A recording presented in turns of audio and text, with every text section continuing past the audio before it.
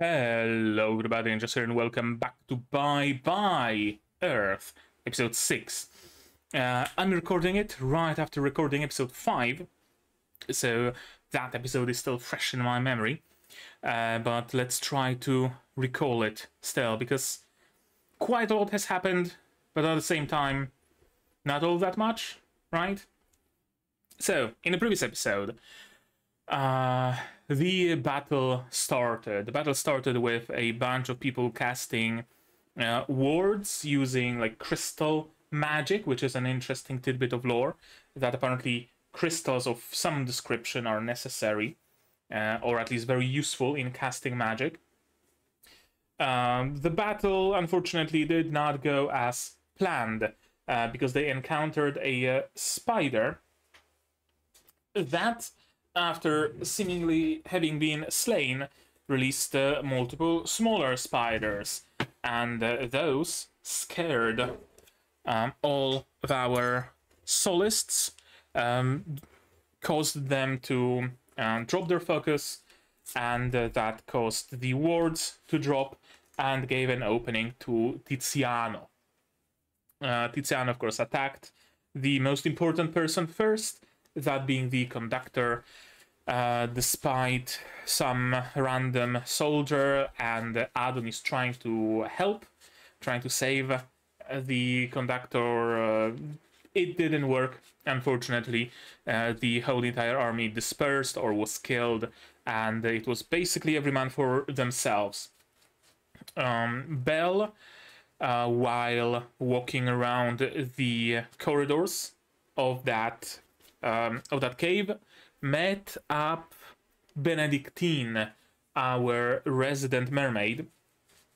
And uh, after some fussing around, after Benedictine trying to attack her, uh, being scared and generally acting unhinged, uh, they met a uh, they met Gordon, um, Benedictine's biggest love. Unfortunately, Gordon was already a zombie, uh, which kind of broke Benedictine. But to her credit, she reacted by immediately uh, just attacking Gordon with reckless abandon uh, instead of freezing or being in denial or you know how it usually goes, right? No, no, you you.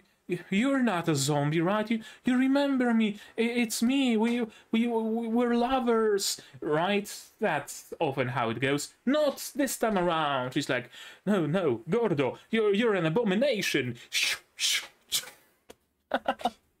I must eradicate it, I must eradicate it, or whatever it was she was saying. So cool, good stuff. Uh, that didn't um, kill, re-kill, destroy Gordon, unfortunately.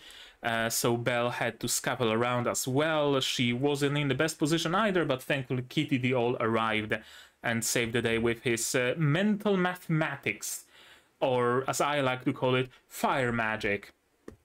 Um, Kitty also explained Benedictine's situation, uh, saying that mermaids have uh, that interesting uh, bit about them where they are essentially mental parasites to a degree. They don't they don't necessarily take anything away from the person they're parasitizing on or whatever is the word uh, they just are like a mirror. They don't really have a personality of their own. They mirror someone else's. And uh, so Benedictine took up the personality of Gordon while she was imprinted on him.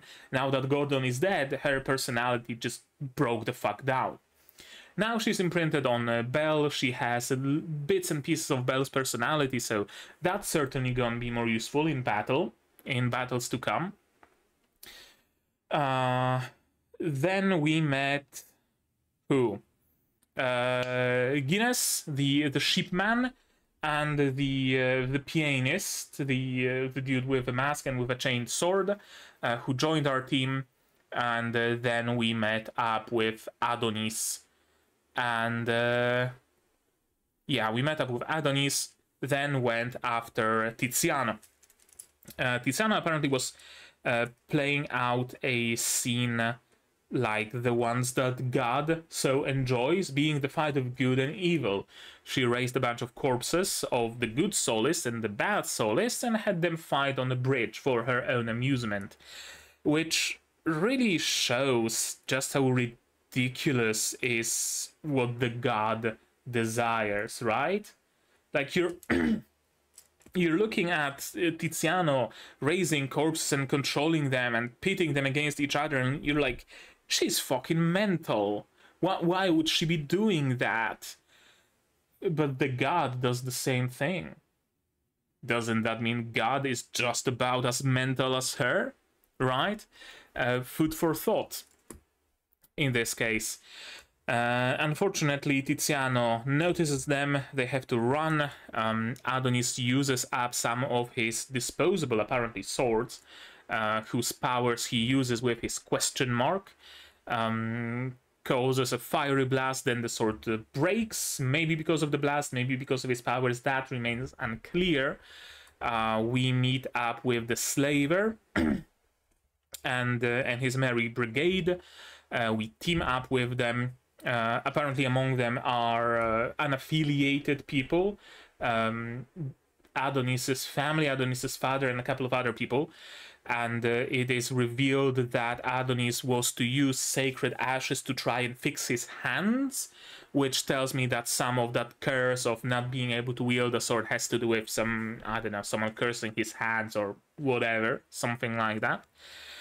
Uh, we form a, a nice team uh, with the slaver being the uh, conductor, Kitty being the director, getting his watch back from Mist, uh, Guinness being the libretto, being the screenwriter who screenwriter, script writer who writes the script of the battle, and other people having their own roles. And just about in time, because water started seeping through the cracks in the wall, and uh, where water is, Tiziano can follow.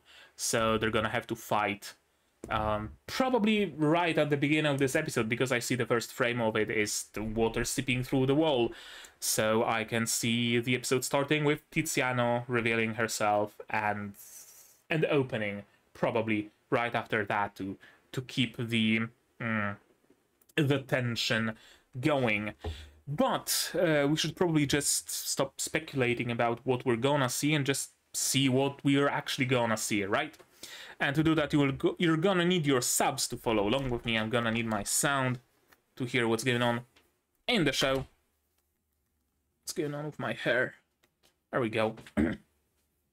And I'm gonna have to ask you for support. Support the channel if you want monetarily on Patreon, YouTube down below or not. Share my content, spread the word, it costs you nothing, helps a lot. And with that, we can start watching Bye Bye Earth episode 6 in 3, 2, 1, go.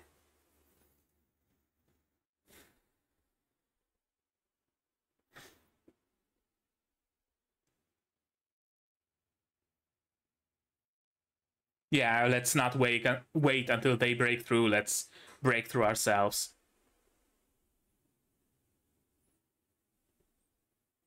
Yeah, there's also the whole thing with like branches growing out of their wounds. And now that I look at Belle's sword, I realize that it's not Damascus. It's wooden grain, isn't it? It's absolutely just wooden grain.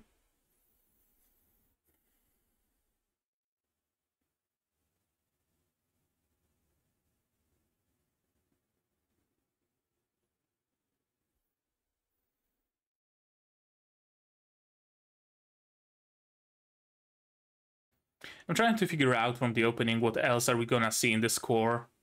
We've seen this. We've seen this. We've met her, met him, met him. This is something that we've not yet seen. Right, the songstress singing in front of the of the tree. Yeah, this battle on the bridge is probably gonna happen in today's episode.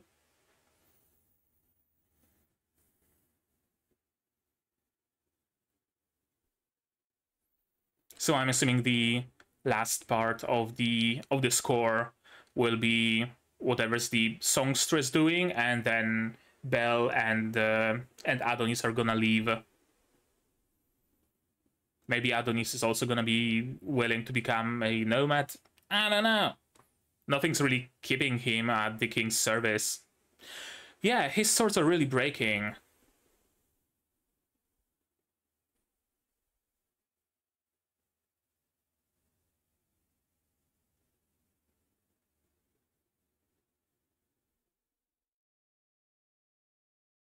I mean, yeah, that's probably a good idea, yeah.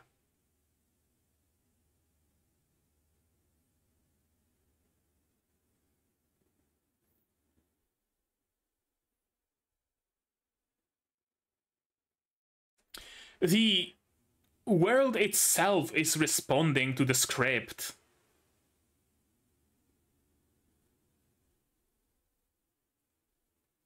Hmm.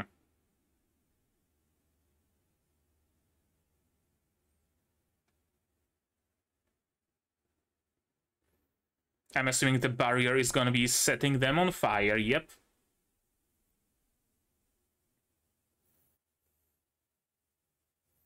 Yeah, some of them might might make it through. But the warriors on the inside will ensure that... Oh yeah, that's gonna be a problem. Fire doesn't really work against water, does it?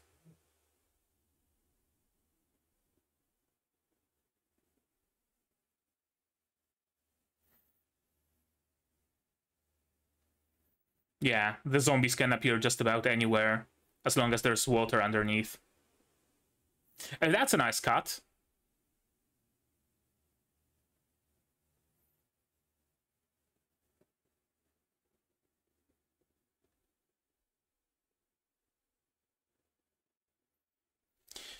The art of word inversion, meaning uh, instead of being defensive, it becomes offensive. Ice magic. That's going to be much more useful against water. They don't have magic, unfortunately, so they're not doing quite as well.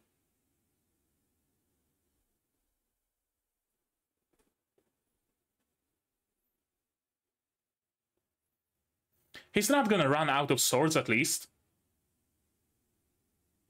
Oh. Oh? Unprotected sword holding. Yeah. Hmm. Yeah, so the sword's breaking even when he was wearing gloves. That was like his power, but limited. His true strength comes in like completely withering the swords.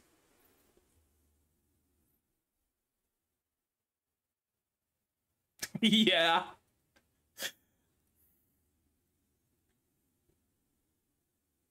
Well, shit.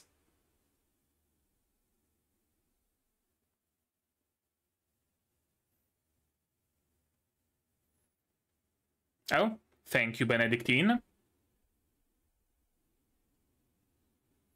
Oh, that's a nasty cut.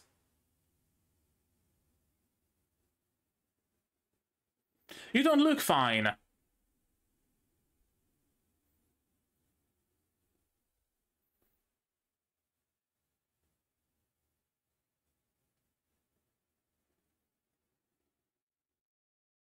Oh? Are you also getting, like, a power-up from her?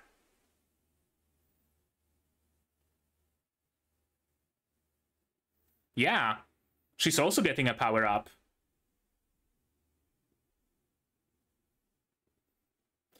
Uh, what was that male voice? Right, mermaids can shapeshift at will. That's a thing. Hmm.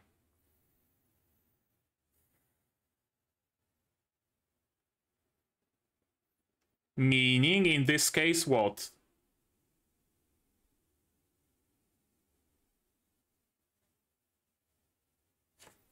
I don't know.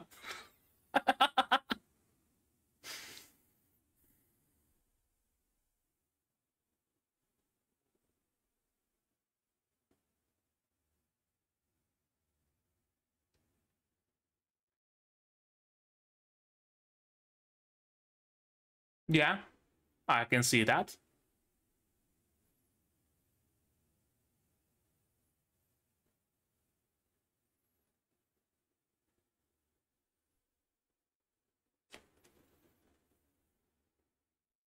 Just like that, huh? Okay, Sacred Ashes are to be helpful.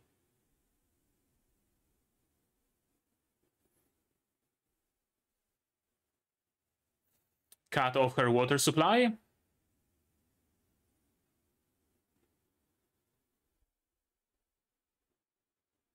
Mm-hmm. Yep. Uh, did Sacred Ashes not heal his his eye?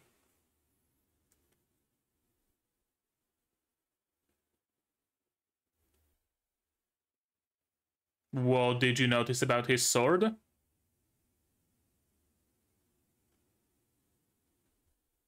You noticed something. Oh, of course. of course.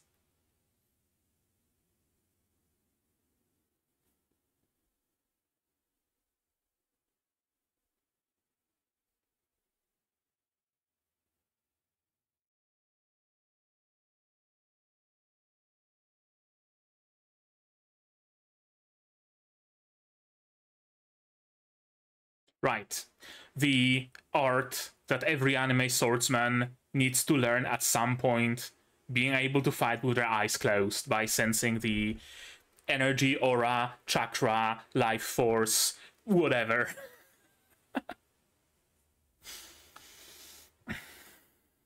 Belle truly is a shonen protagonist, isn't she?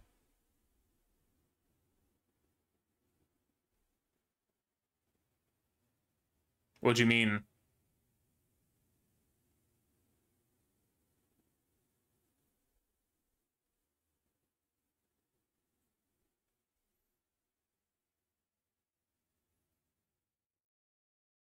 Oh.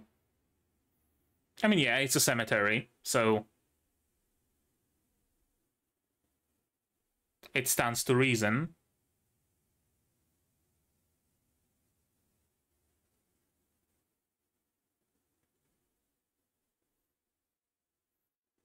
Why are we here exactly, though?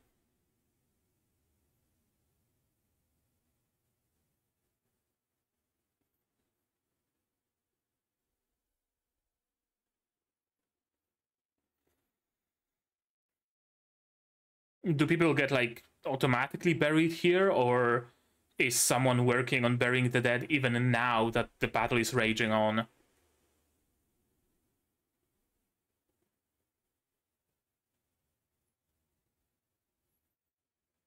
His sword is different than the other two. I wonder if that's relevant somehow. Yeah, good point, actually, yeah. Uh, that will make her bold, and thus prone to making uh, errors. Is that the hope?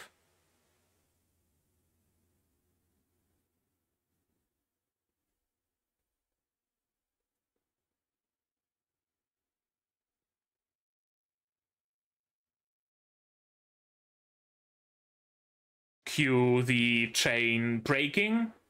I guess. I can see that happening.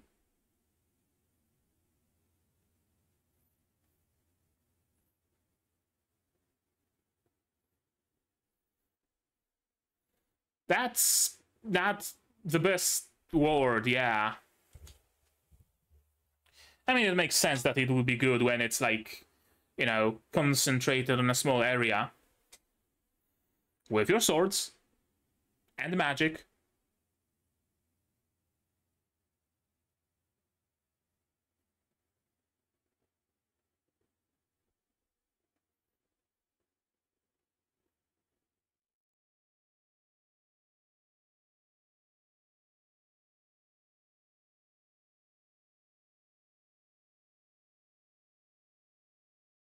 Hmm, sacrifice? That smells like sacrifice.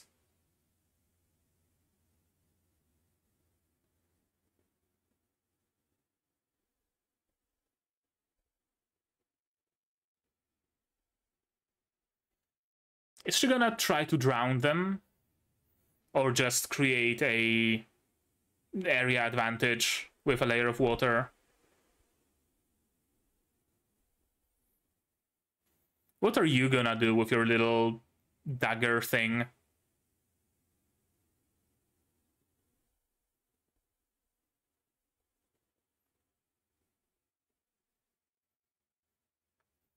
Probably not much.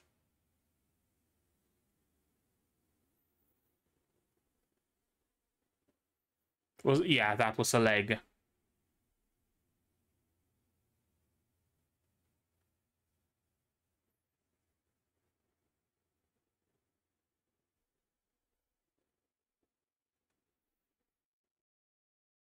What are you trying to achieve here, really, with your sacrifice? Second layer of wards. Hmm. Well, that's a much stronger effect.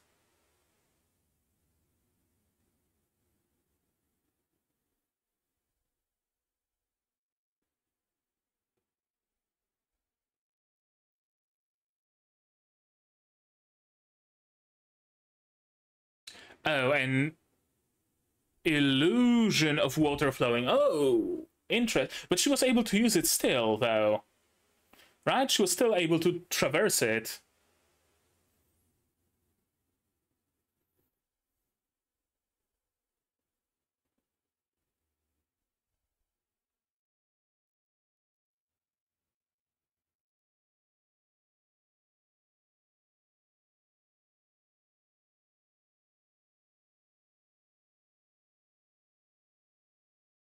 Now you're gonna use a lot of seeds.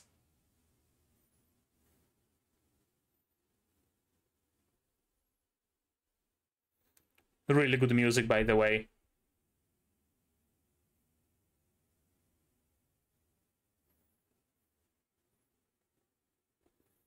How were they able to go through the fire? Bloaters?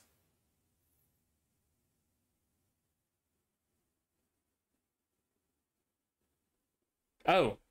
Okay, they just dissolve into a puddle of blood, which is a liquid that consists of water, so she can probably use it. Yeah.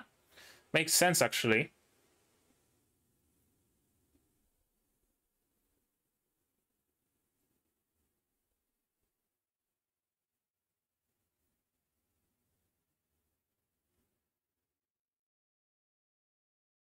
Hmm. Well, there goes your arm. Did you at least achieve something?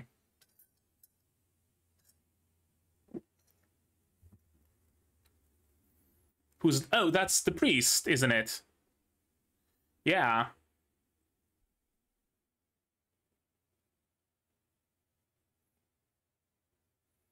Hmm, punched her right out of the puddle.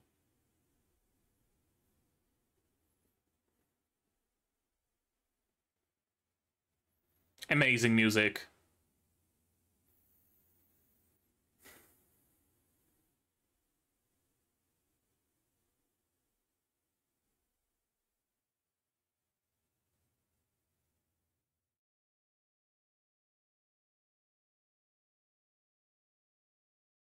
Hmm.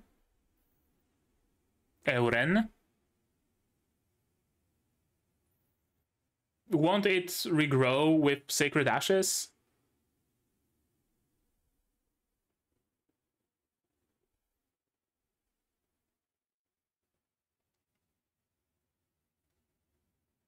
Right, and her sword was broken, so she needs a weapon.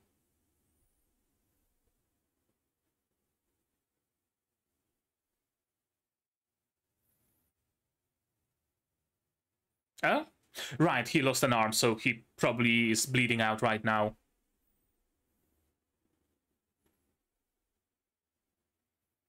Apparently, yeah. Legna, gotcha.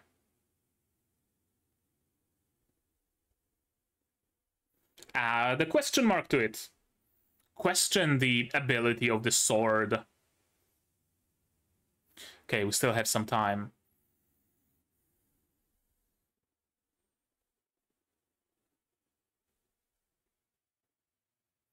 Didn't work. Hmm.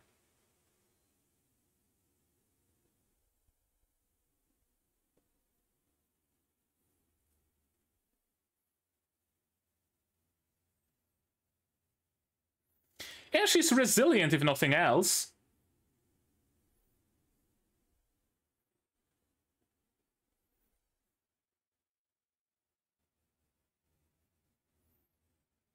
How is she able to even stand right now? Still. How is she not dead yet?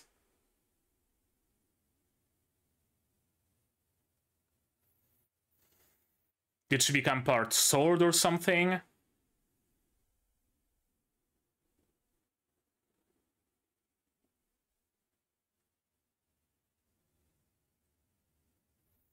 Yeah, you shouldn't have gotten close. We going to a pocket dimension? We going to a pocket dimension.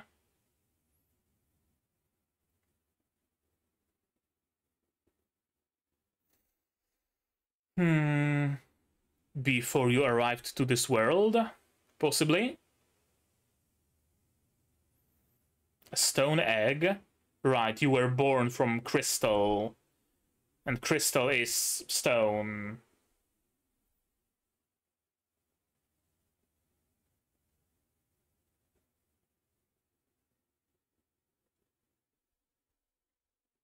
Sure.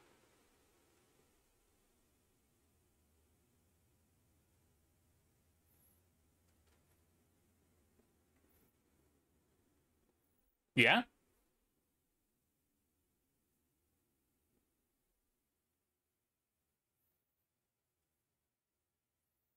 Why not?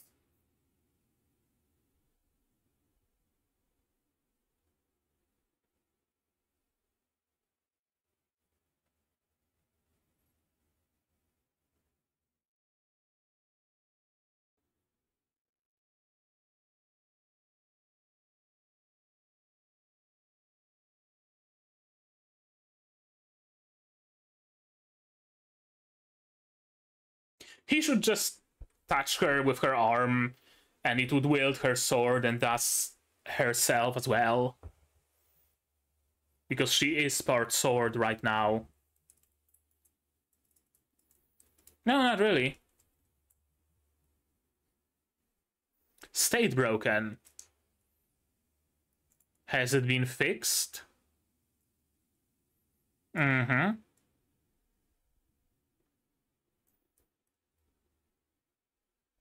Hmm?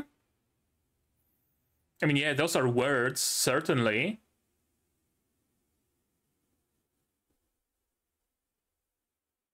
Ersatz. Yes, please. Ersatz. I wonder if it means something in, like, real world.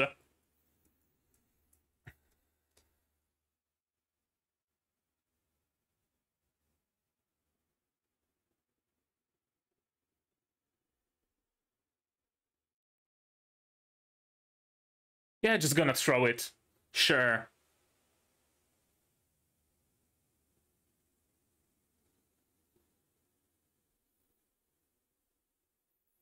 Yeah, that was a hit with a wilted sword, wielded barehanded.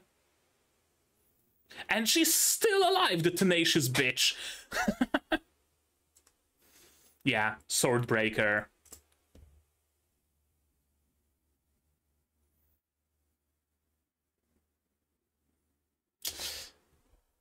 That's an interesting question, actually, yeah.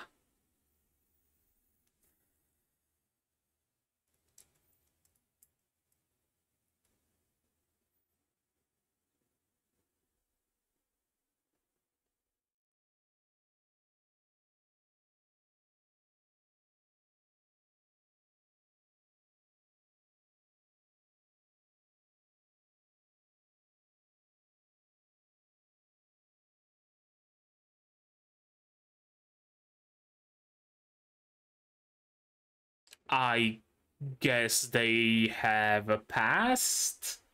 Besides Adonis telling her that her boyfriend get executed? Sure. Let's let's end this right here.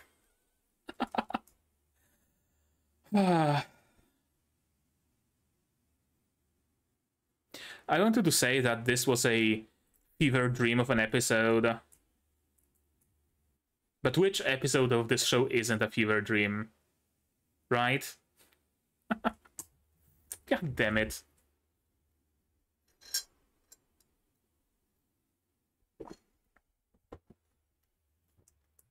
And now I'm gonna have to wait a week.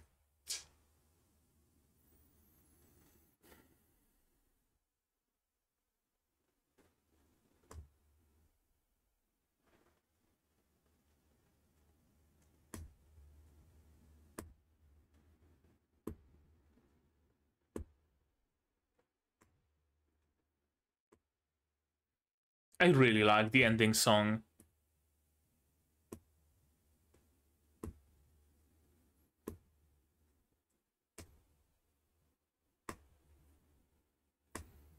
You know what? I'm gonna listen to some classical music. After I'm done recording, yeah. I gotta listen to like... What was... Ah, shit. I had like my favorite composer. Okay, so we're gonna meet her in the next episode, I guess. The songstress. Examiner of curses, blessings, and their shapes. Um, let's watch this one again. Uh, but before we do, I wanna... Is Tidal gonna have it saved? Uh, yeah, sure, you can access my internet Tidal. Please, please do, in fact. Uh, no, I probably don't don't have it saved, do I? Or if the, or, or if I do, it's on Spotify, not on Tidal. Shit. Yeah. Oh, th there it is. There it is. It was playing actually. Yeah, uh, Carmina Burana. Yep, the the entire fucking Carmina Burana uh, thing by uh, Carl Orff. Yeah, I'm gonna listen to that. uh, it, it's actually like some some cool music, so uh, can actually recommend it. Can I? Uh, can't really zoom here, but can I? Show it somewhere. Window capture. Gonna. Yeah, Carmina Burana by Carl Orff on on Tidal. There's like plenty of tracks in this whole thing, so can recommend it if you like classical music. Uh, okay. Uh, don't go slipping up now. Right, right, right. The first act. Schwertmusik. Uh, I wanted to uh, to Google another thing, so let's do do that. Ersatz. Does it mean anything? Ersatz of a product made or used as a substitute, typically of typically an inferior one for something else. Hmm. Not real or genuine. Now, if only I could remember what context it was used in, eh? Um, three acts. Act one, a bridge, wards. It really seems like, right, the stage is reacting to the orders of the director. Which is very interesting if it actually if it's actually how it how it how it works where the conductor of the battle has influence over the battlefield itself. That would be dope. Make this place a fortress. Yeah, Kitty is able to do that without much of an issue. Uh, but his words are not waterproof, unfortunately. He should really work on that. easy escape, and basically a furnace. The Art of Ward inversion, instead of directing fire to the outside, directing fire to the inside? Probably. Benedictine is useful, very useful with her ice magic, and no longer a, a broken person, right? Like now she is, she has Belle's personality, so she is in his element, in her element during the fight, right? And uh, is that a bow in the in the pouch on her back, like folded into a, a lute or a lyre or whatever it is? Or is it a lyre? I don't know. What's wrong with these guys, uh, besides being dead? Uh, right, so his unclothed hands are able to just completely wither the sword. Uh, it seems like when he's wearing gloves, he's able to use a sword and it maybe breaks faster, but he's still able to use it. Meanwhile, if he touches it barehanded, it just immediately withers completely without even being usable for much for much time. Interesting. Where would he have gotten a power like that, a curse like that, really? Mm, I break my own toys all the time too, it helps me feel better. Yeah, he's scary. he's gonna be a good ally to have around, isn't he? Yeah, got slashed in the eye. Uh, did she go blind in that eye? I think so, because it got like milky white uh, when it's open. And uh, whatever battle rage Belle entered, she got the same buff apparently. And uh, got a male voice and turned into a male. Uh, I thought for a moment that it might be Cian talking through her, right? Like she got a uh, reflection of personality, but bits and pieces of Cian might still be floating around Belle's head. So maybe instead of taking Belle's personality, she kind of took Cian's, right? I thought maybe it's something like that. Uh, but no, it's just a gender swap. I can feel the woman in me going to sleep. She may never wake again. Interesting. I'm not sure how how much of a fan of it I am, to be like perfectly honest with you. There's something uh, I don't know, very conformist about it, so to speak, right? Like we we can't have a woman idolize and be in love with another woman. We can't have that. One of those women has to turn into a man, right? That's how it's gotta be, right? I'm.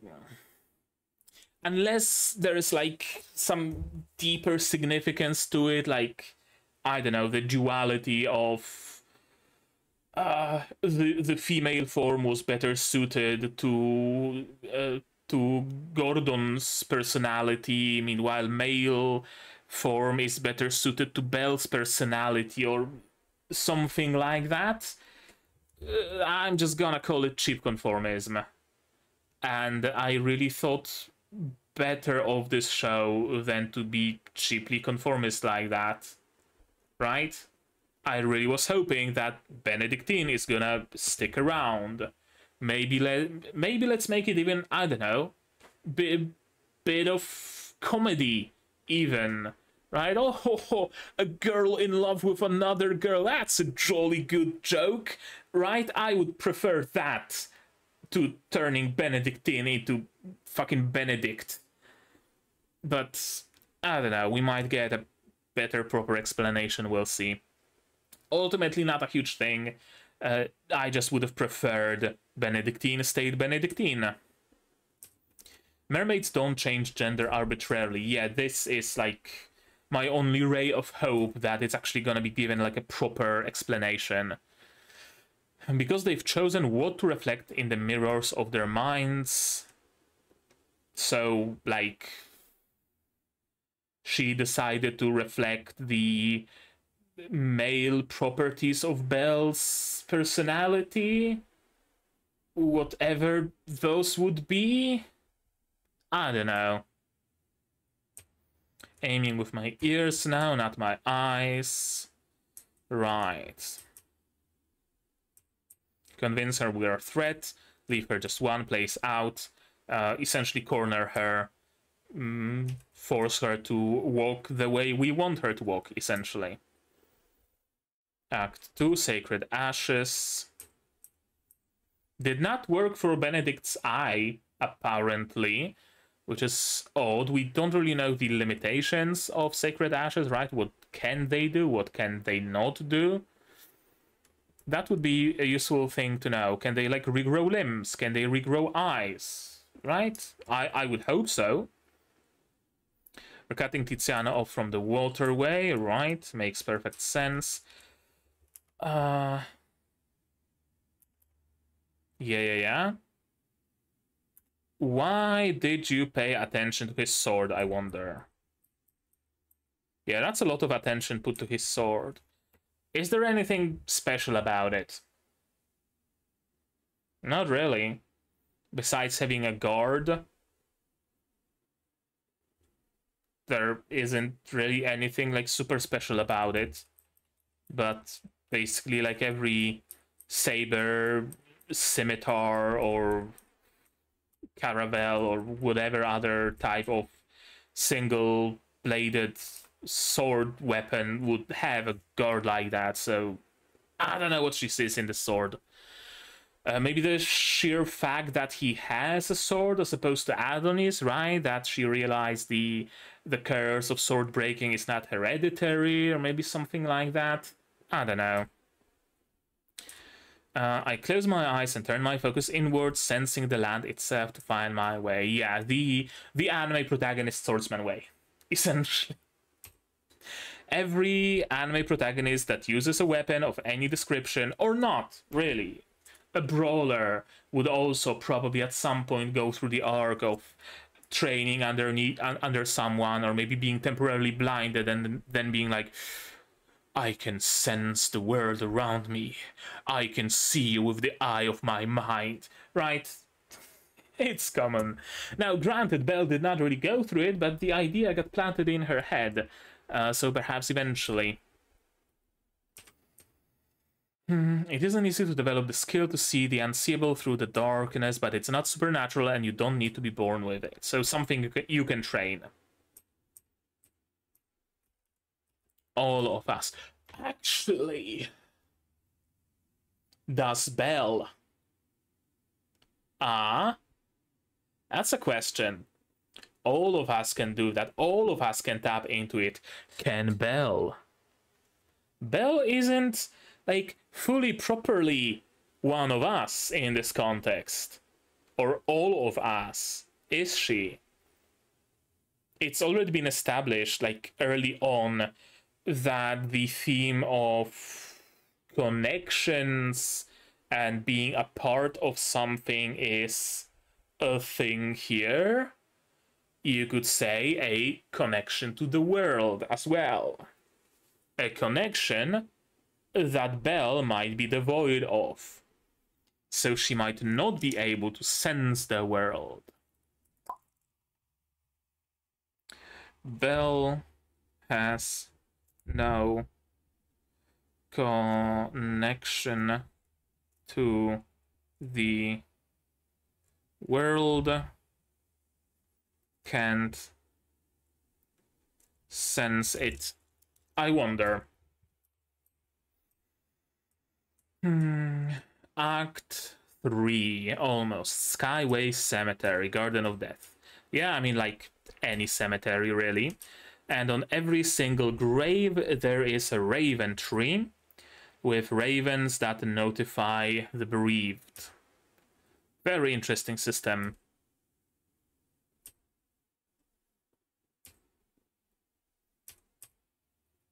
Set wards around the whole cemetery.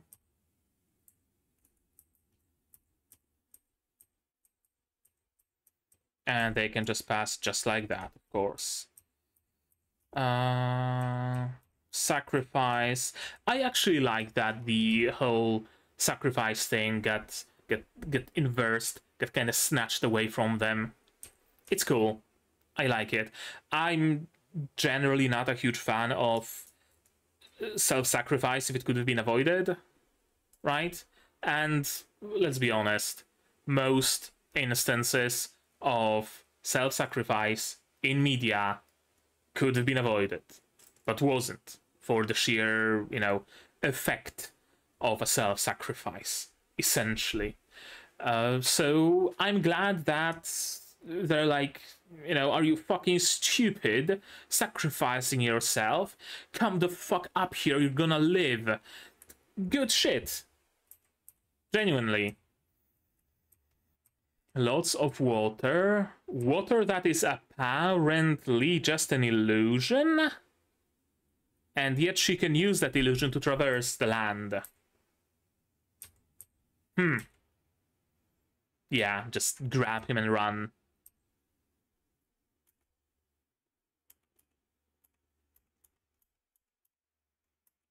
Yeah, I have no clue what happened with water here. Or was it like... I don't know. Is an illusion of water indistinguishable from water for the purpose of traversing? Traversal? Or is it like there was a very thin layer of water that she could use to traverse, but it was thin enough for the fire to instantly evaporate it? Maybe the latter. Yeah, that would be an explanation, I say. Yeah, Act 3.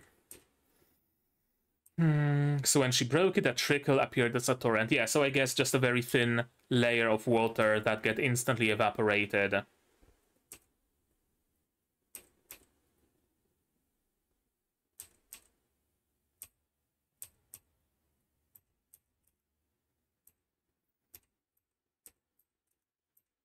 This is an interesting uh, strategy.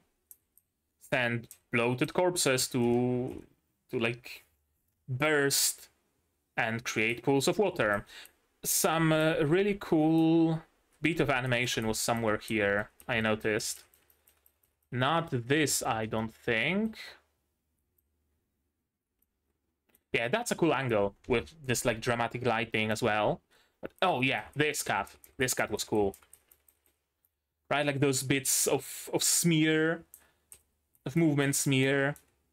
Very cool expression. A very simple animation ultimately, but because of the lighting and the smears and the expression on her face, it's kind of like more than the sum of its parts. Right? I don't know why exactly, but I really liked it. Yeah, and the expression on her face actually changes as things on the battlefield change as well.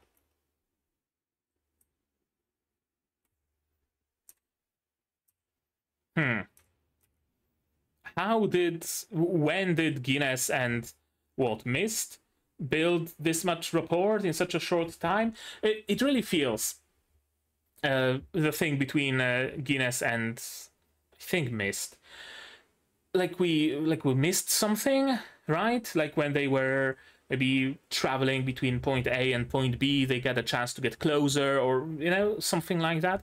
It really feels like we missed a little bit here and there.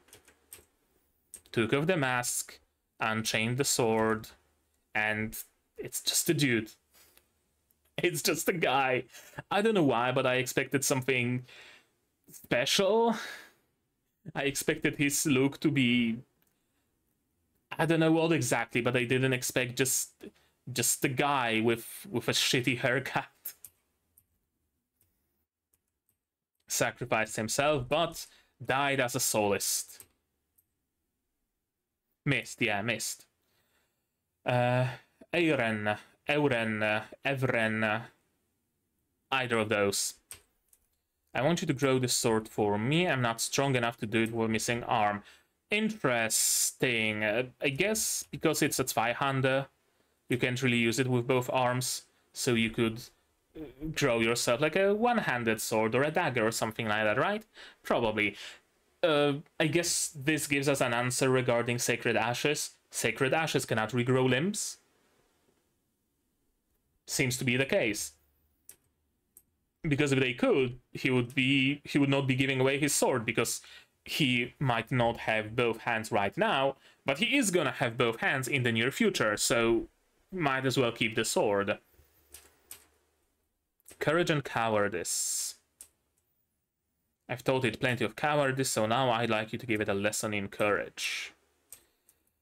Uh, it, I just noticed that his pupils became like round again. Right? They were very clearly sheep-like, horizontal, but now that he's supposed to be a bit of a bit of a bishonen, right? Then uh, his eyes get uncovered to show his pretty face, and well, horizontal pupils are not really pretty, so we gotta give him round pupils so that he's a pretty boy. That's how I read it, at least. Bled out, unfortunately.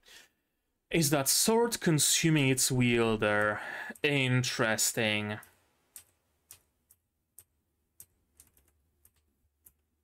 Very cool fight, by the way. Very, very cool. Not like, not, not, not, blah. Not even purely animation-wise. Animation is like, cool. Nothing to, you know, gush over particularly much. Uh, I like the attention to detail though. How the sword is breaking and the shards are falling off as well. But I like the choreography of it with Adonis constantly pulling out new swords, right? Pull a sword, stab, break. Pull out another, stab, break. Pull a sword, stab, break. Right? I really like the choreography of it. It really is like a dance, isn't it? Right? Yep. I really like how how dancey it is and how well choreographed it is. But I also like the idea of like unlimited blade works essentially treating swords as disposable that's really cool to me take the sword stab break it off. Get another sword stab break it off. There's i don't know something cool about it. Uh, got too close. She turned into a into a witch and moved them both to a uh, uh to a pocket dimension. My beloved. I don't know where or when, but I felt like this before. A stone egg.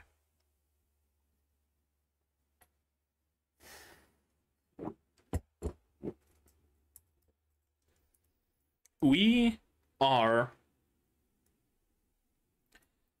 often in this show toying with the idea of a pocket dimension.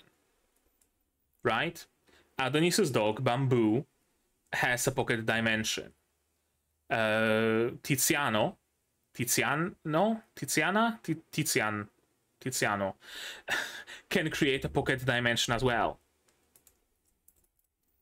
Belle has a memory of being inside of a pocket dimension before she was seemingly born from a stone egg.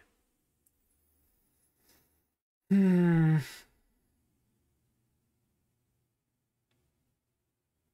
I wonder if it's.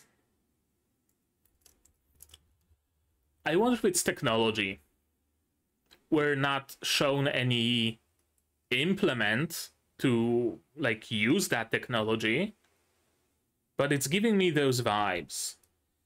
It would make sense for like long distance space travel right? Like if if humans were able to create pocket dimensions with whatever rules they wanted, right? Create a pocket dimension where time is stopped. Put that pocket dimension inside of vehicle. Put an astronaut into that pocket dimension blast that vehicle off to fucking Andromeda Galaxy. It can take hundreds, thousands, millions of years, however long. The time in the pocket dimension is stopped. Vehicle lands, could be egg shaped. pocket dimension regurgitates whatever was inside, and the astronaut is on planet in the Andromeda galaxy with no time at all having passed for him. Right? It's a possibility that kind of plays into my idea of of Belle being somehow an interstellar traveler. Maybe something happened to that pocket dimension. Maybe it was a maybe it was a rescue pod, an escape pod. I've been um, I've been reading uh, Deathworlders by can't remember the name of the author, uh, but yeah, Deathworlders. It, it's named. It's one of the humanity fuck yeah uh, genre books, and uh, there there's you know the classic for sci-fi stasis, uh, stasis. And uh, of course, escape pods have a stasis generator, so that when a ship is destroyed, you launch the rescue pods, people inside are in stasis, and whether they are rescued next day or in 5 years or in 50 years makes no difference for them because it's gonna be as if no time passed at all. So I wonder if it's something like that maybe. Some sort of a pocket dimension where time is stopped. Uh, the ship was under attack or something and their parents put her in a rescue pod, blasted it off wherever, like fucking Kal-El from Krypton, right? Maybe. Maybe. Belle was blasted away in an escape pod like Kal El from Krypton. Suspended in a time stopped pocket dimension. We know pocket dimensions can be attached to objects, to things. A pocket dimension is attached to bamboo after all, right? So a pocket dimension itself doesn't necessarily exist out of space and time. It exists in space and time. So means it can be moved with a with an escape pod, for example, right?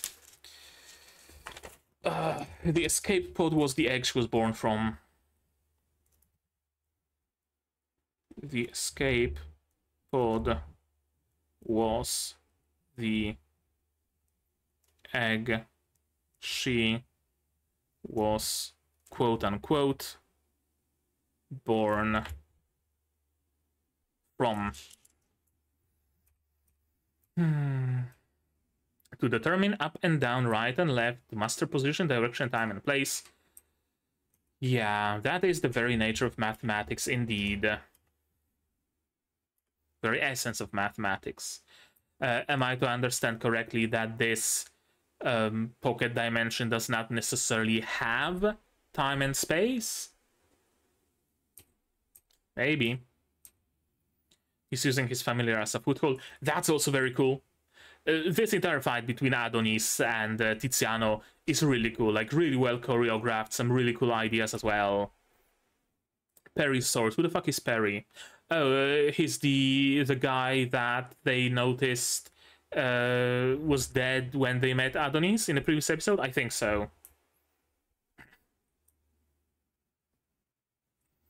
Yeah, inscribed a question mark.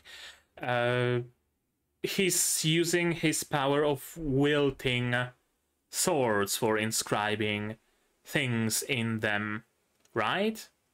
Right. Like, like if he grabs the sword, the entire sword just wilts. But if he just touches it with like a, a fingertip, then he can leave a mark in the steel of the sword, thus inscribing an additional rune. Which raises a question: Can he perhaps, maybe, erase the name of a sword and inscribe a new whole entire name of it. How far does the modification of swords go? Is it just a question mark? Or can he do more? It breaks his hands wither all they come into contact with, yeah? Or at least the swords. Uh huh. Yeah, and we continue the dance with pulling new swords and jumping on the swords and appearing just where they're ne- just where they're needed. Would you have been happier if your sword had stayed broken?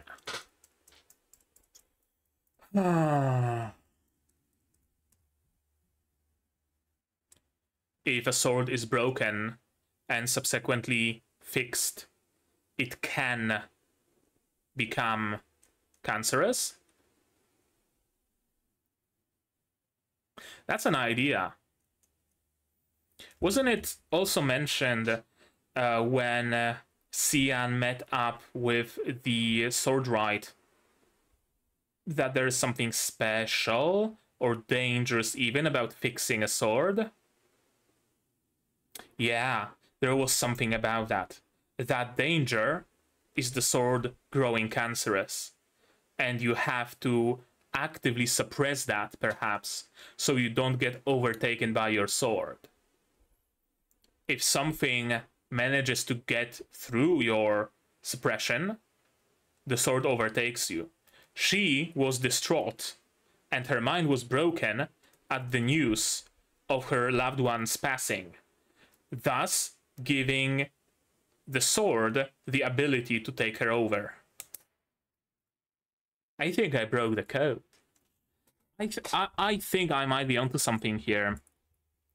Um, if a sword is fixed, it can become cancerous. Uh, kind of like, uh, I mean, cancer in humans and other living beings, right? When uh, when a body is damaged, um, and it tries to fix itself, it grows more cells, and the faster and more cells it grows, the higher the chance is of a random mutation in one of those cells, and the higher a chance is of that mutation becoming cancer right? That's why asbestos, for example, is so bad, or breathing in all sorts of uh, needly prickly dust like that, because those little asbestos needles embed themselves in your lungs, thus damaging them, and your body tries to regenerate that damage, but it can't remove those needles because they're inor- uh, they're not organic. So it's an endless cycle of damage and fix, damage and fix, and because of that, like huge amount of cells gets produced in your lungs, and you get lung cancer. That's how asbestos works. Essentially, it's a physical way of creating cancer. Um, it's actually a thing with um, with animals as well. I know that uh, cats, for example, uh, there's a certain risk to uh, your cat getting an injection in the like scruff of their neck, which is where they usually get injections, uh, that can become cancerous actually, because it's damaged and their body tries to fix it, and it can grow into a cancer. Uh, because you know cats have much shorter lifespans, so they don't have this like long telomeres which is the thing that's like useless data at the end of our uh, of our DNA because with every every time a cell gets um, uh, gets like duplicated, cloned, a bit of the DNA might be damaged, and that's why we have those telomeres at the end of our DNA. Because if something gets damaged, it's gonna be just the useless information, so the DNA stays the same. But when the telomeres disappear, when they are all completely destroyed and are no longer there, then every cell du duplication uh, harms the actual proper DNA and uh, that can cause mutations and that can cause cancer and because animals that animals that live that live shorter than humans have also shorter telomeres it needs way fewer cell duplications to for telomeres to disappear and to cause cancer. There we go. uh, it's actually uh, one of the like proposed um, ways of extending human uh, lifespan. Just fix the telomeres, right? Simple. Ju- just attach an additional bit of useless data to every single strand of DNA in our entire bodies, right? I mean, nothing could be easier, right? Actually, there is some potential in using viruses for that because viruses, by their nature, uh, replace your DNA, your DNA in a cell with their DNA, so that the cell, instead of producing whatever your body needs, produces more viruses. So you could technically inject a virus with like your healthy DNA with maybe some uh, additional telomeres attached to it and infect yourself with that virus and it would replace your broken DNA with fresh new copies of your own DNA thus uh, increasing your lifespan. Well that that, that was an aside wasn't it? I never thought a show like this would make me talk about telomeres and fucking DNA and cancer and shit. Uh, what was I? If sword is fixed, it can become cancerous. Uh, right, uh, cancerous sword needs a conscious suppression if the suppression drops the wielder becomes a host for the sword cancer. And I think that's exactly what happened here. She got the bad news, actually. Uh, no getting news about her loved one dying uh, made her drop the suppression. Yeah. Okay, let's continue. Holy shit, it's so hot inside. 29 degrees. Great, it's the middle of the night. 29 fucking degrees. Uh, uh, would you have been happier if your sword had stayed broken? Probably uh, because the sword being fixed probably made it cancerous. Uh, that sword is just like the god's tree. Fatal illness renders it a false god's throne. Uh, right, this is where the term uh, ersatz appeared, wasn't it? A cancerous sword, yeah. Fatal illness renders it a false god's throne.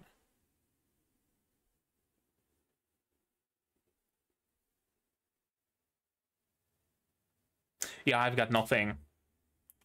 Um,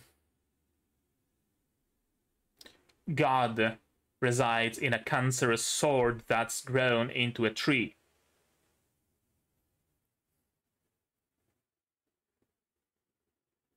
Could the god have been overtaken by a cancer sword and the tree used to be a human or a god? Uh, God tree was a human slash god that got overtaken by a cancer sword. What has to be going on in your head to think of shit like that? Like really, honestly, that that's a question I have right now because I like weird shit like that. I really do. I really fucking do. And I always wanted to create some like super fucking weird shit like that myself. But I could never in a million years think of half of the shit that I see here. It's it's just completely fucking mental.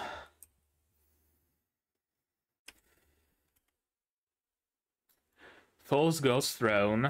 Should I say a fabricated refuge for the soul?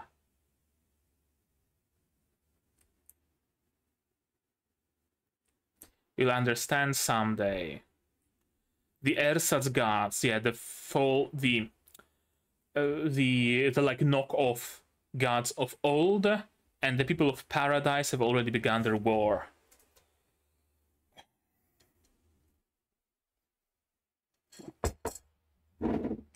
The gods of old and the people of paradise.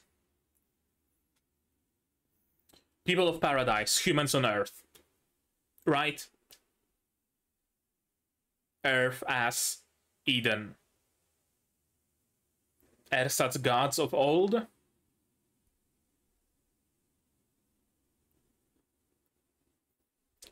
Uh, aliens that brought a biomechanical technology to grow shit from biomass?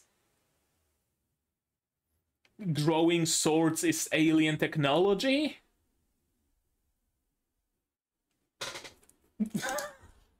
I have no fucking clue. Uh, people of paradise being earthlings.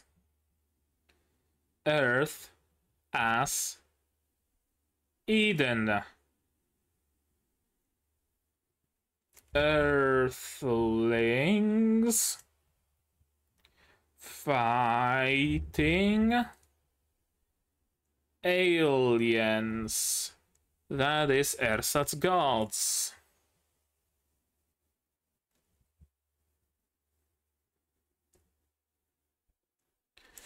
Um, sword growing is alien tech. Uh, substitute Alien for Elder God. Fucking Cthulhu technology allowing them to them to grow swords. And the what was it? The the king in yellow, the, pr- the prince in yellow, whatever, giving the power of cancer. uh, Oh, my head. Uh, how shall we aid him from here? By, by throwing my sword. Apparently, yeah. I mean, it worked. So, that's good.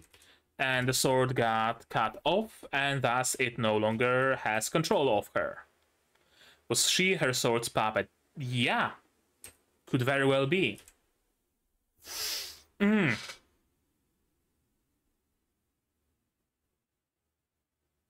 maybe it's not necessarily that the sword controls you.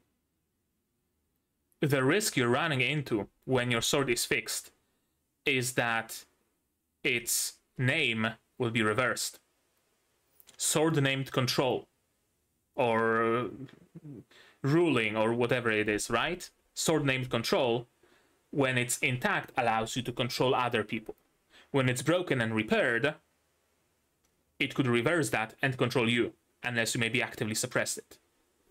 Right? If you could have a sword named, uh, uh, I don't know, health that lets you heal people, and you break it and you fix it, it would harm people. Right? Maybe, maybe something like that. Uh, fixing a sword makes its name back backfire sword named control controls the wielder right? Maybe maybe that's what it is. Hmm. and yeah she got out of the control and she got a decently good ending. Also raven seeds in you. In you not for you. I initially read it as for you but no in you. Of course and tend them so they bloom beautifully. The end. Concerto in a land where death blooms. I mean, there was a concerto, and it was in a land where death blooms, sure enough. Uh, city is simply full of pain, the sword tests its wielder, and the title is Examiner of Curses, Blessings, and Their Shapes. Uh, uh, Belle doesn't know the uh, the nature of her curse. Adonis doesn't know what his how his curse can be gotten rid of.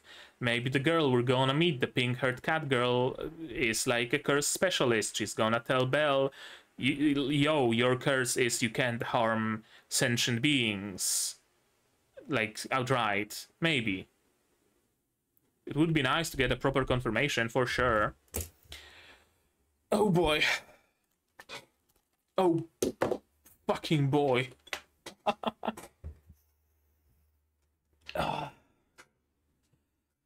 I thought I'm used to this show being this. You know? I really thought I'm used to it. To the like overall weirdness of it and that nothing's gonna surprise me anymore because I'm prepared for being surprised. I'm prepared for things not making sense boy was I wrong. But I'm I'm happy.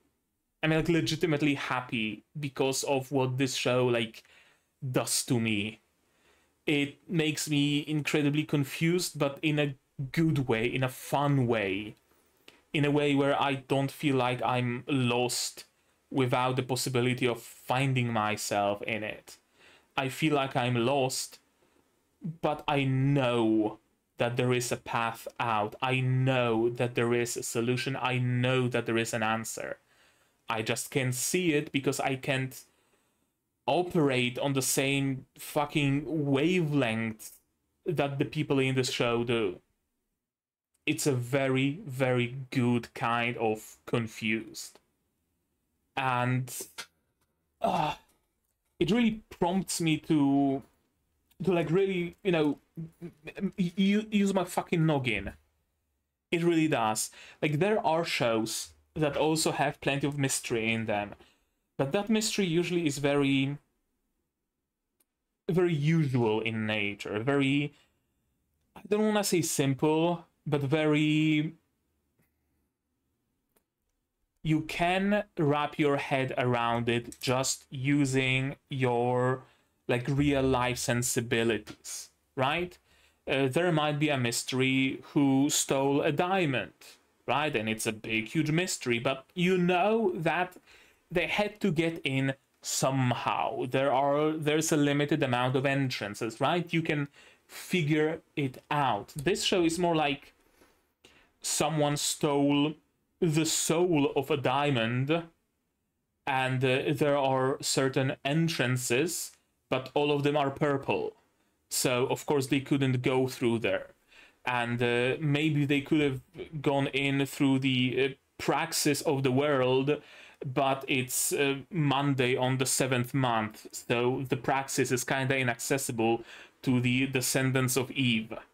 right? It, it, it's like this. And it makes sense. I'm constantly in awe of the fact that it doesn't make any fucking sense to my limited human sensibilities, but it makes sense in the context of this world. And it's not bullshit. it's not bullshit of characters just characters just taking the weird shit at face value and being like, oh, you know, of course frogs are dangerous. And I'm sitting here like wondering, what the fuck do you mean frogs are dangerous? No, the fuck they're not. No, in this case, if someone told me frogs are dangerous, I'd be like, oh yeah, yeah, sure. I mean, I, I can see that if frogs are actually an avatar of the cancer god, which they might very well be, then, right? Like, this show does good things to me on that level. And also, we got some really cool fight scene in in this episode. I really thought that Belle is gonna be the hero of the hour because she's the main character after all, right? It would stand to reason that she would be the one to fight Tiziano. Uh, but no, it was Adonis, and it actually works well. Uh, both because I fucking love the choreography they came up with. Uh, Belle has a hunk of iron that she can swing around, and you can choreograph it only so much. Adonis has the whole had the whole dance with you know pulling the swords and breaking them. I I love that entire sequence, and then jumping in like space out of space on the on the pommel of a sword regurgitated by his interdimensional dog. Good shit and there's apparently some like history that he shared with Tiziano before all of that came to be and such a good episode. Such a good episode. I think i might have had criticism. Oh yeah that uh, that guinness and and mist getting together sound, was kind of out of nowhere. Fuck that. Scratch my criticism. I have no criticism of this episode. It was it was great. It it was great, but my my mind needs to rest. I need to like, you know, I, I wish I was able to do the Gundam thing of opening a vent in the back of my head, it going, releasing steam. That would be ideal in this situation, but I'm gonna have to save myself with some cold water and a fan. What can you do? I'm not a Gundam, unfortunately. Oh shit. Yeah, that's gonna be it. I I have no strength to to talk about anything anymore. But you guys, you tell me what did you like? How what did you think of this episode? My reaction, my theories, stuff like that. Say so in the comments down below. No spoilers, please. Spoilers can go to my Discord here on the Discord or in the description below. Although to be honest, even if you told me any spoilers, I, I would have no way of saying whether you're being for real or not, so... But still, don't spoil anything to me. Like this video if you liked it, subscribe to be notified of future videos, not just uh, Bye Bye Earth, but also Wistoria, Spice and Wolf, Shy Season 2, Isekai Shikkaku, plenty others coming in the future. Click the bell to be notified when they go out and when I go live because I stream sometimes. Support the channel if you want monetarily on Patreon down below where for 10 bucks a month you get early access to non-seasonal shows and for just a dollar you get a role on the Discord and the place and credits. You can also support me directly on YouTube through super thanks, membership, super chats, and if you don't want to spend any money whatsoever, you don't have to. Try my content, spread the word, it costs absolutely nothing and helps the channel a lot. And now, with all of that out of the way, that's gonna be it from me for today. It probably was a mistake watching two episodes of this show at once, because I'm fucking spent. Uh, so, as always, you guys do all the good stuff, and I'm gonna see you in the next one. Cheers! And here's my one for Patreons, QB, Without the Net, Zerene, Yukiale, Chibibro, Dr. Wataka, Master Marsh, Fassel, and Hans Peter. And you can join them if you want without having to be controlled by a sword cancer.